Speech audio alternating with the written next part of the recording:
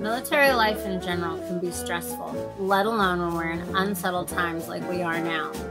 If you're struggling in any way or having thoughts of suicide, please reach out. We have some amazing resources available. Reach out to your shipmates with a text, a letter, a phone call, virtually, whatever it takes. You are not alone. We are all in this together.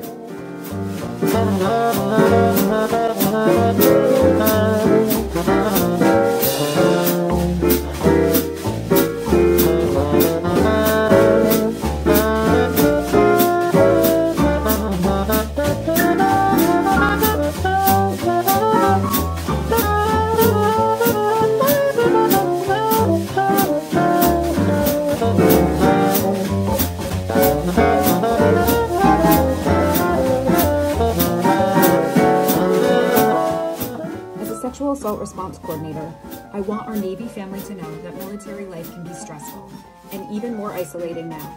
Please know that you are not alone and we are all in this together. If you or someone you know has been affected by sexual assault, we are here to support day or night. Please see the resources at the end of the song. Support one another and know we are alone together.